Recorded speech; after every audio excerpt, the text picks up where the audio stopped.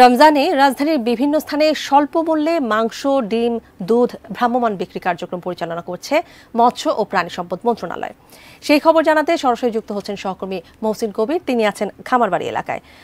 মহসিন আপনি নিশ্চয়ই শুনতে পাচ্ছেন কোন কোন জায়গায় এই ভ্রাম্যমান কার্যক্রমটা পরিচালনা করা হচ্ছে? সেখানে কেমন দাম ধরে দেওয়া হয়েছে? ক্রেতারা কি বলছেন? তারা আসলে কতটুকু উপকৃত হচ্ছেন?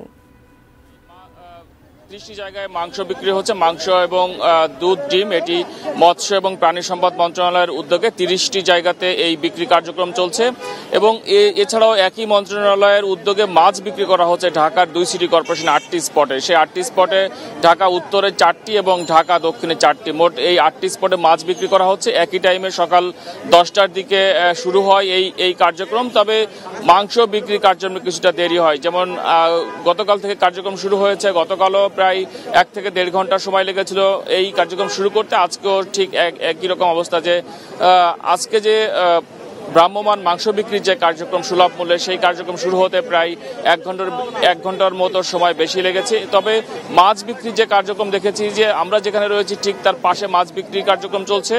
সেটিও সেটিও মৎস্য এবং প্রাণী সম্পদ মন্ত্রণালয়ের উদ্যোগেই করা হচ্ছে। এই পুরো রমজান জুড়ে করা হবে। সেখানে দেখেছি যে চার প্রকারের মাছ বিক্রি করা হচ্ছে।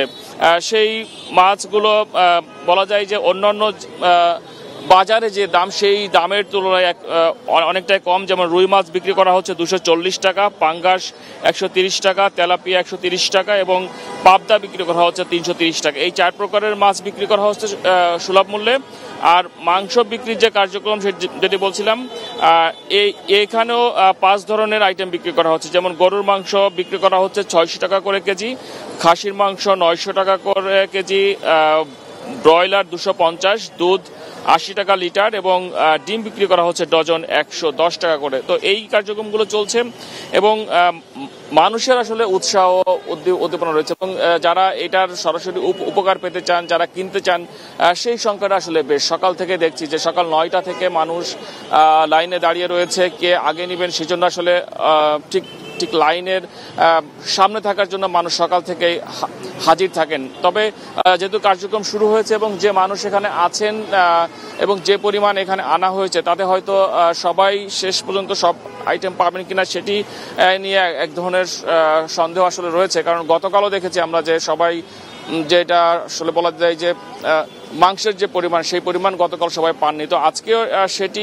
এখনও কি পরিমাণে আনা হয়েছে সেই সংখ্যাটা সেই পরিমাণটা জানতে পারিনি আমরা। তবে এখানে যারা কর্মকর্তা রয়েছেন তারা বলছেন যে যে সংখ্যক মানুষ লাইনে এখন পর্যন্ত রয়েছেন তারা হয়তো প্রতিটি আইটেম পাবেন এবং এইখানে ইচ্ছা করলে আসলে বেশি কেনা যাবে না। যেমন গরুর মাংস এক কেজি কিনতে পারবেন খাসির মাংস কিনতে পারবেন এক কেজি।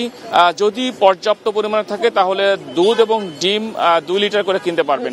এবং যে এখানে যারা আসছেন, যারা কিনতে, তারা বলছেন যে যদি এই কার্যক্রম যেহেতু দশটা থেকে শুরু করার কথা, যদি ঠিক দশটা থেকে শুরু করা যায়, তাহলে তাদের জন্য সুবিধা হয়। কারণ জানেন যে প্রচণ্ড রোদ্দুর, সেখানে লাইনে দাঁড়িয়ে থাকা, দীর্ঘক্ষণ দাঁড়িয়ে থাকা কষ্টকর।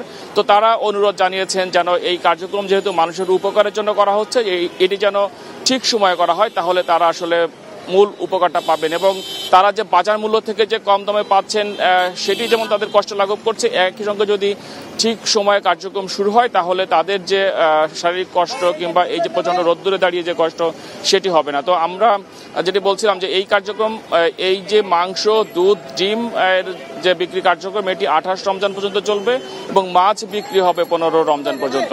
তানিয়া। মহসিন কবির অসংখ্য ধন্যবাদ আপনাকে।